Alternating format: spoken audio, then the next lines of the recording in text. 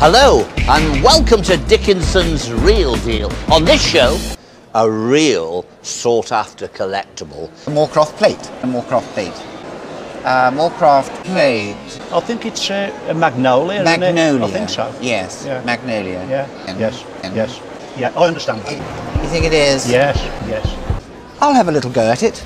I'll get my wodge out, as they say, and see what we can do. Yes.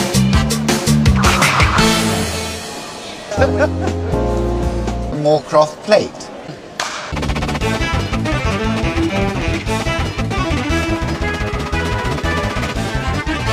Are they going to attract him?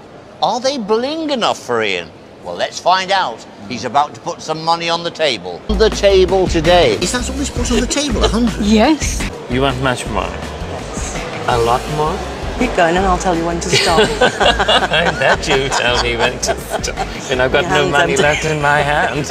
Find out if Mr. Sparkle can resolve this debacle. 300. On the day, not an easy lot to sell, but I think there's a good chance they'll do well at auction.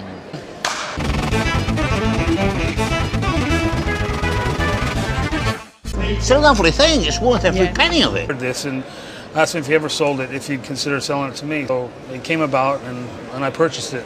With lots of other goodies. It Makes it legal from my point of view.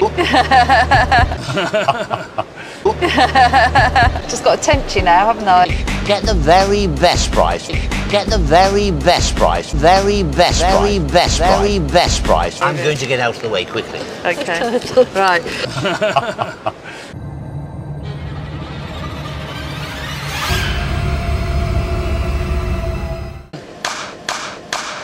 What a knockout.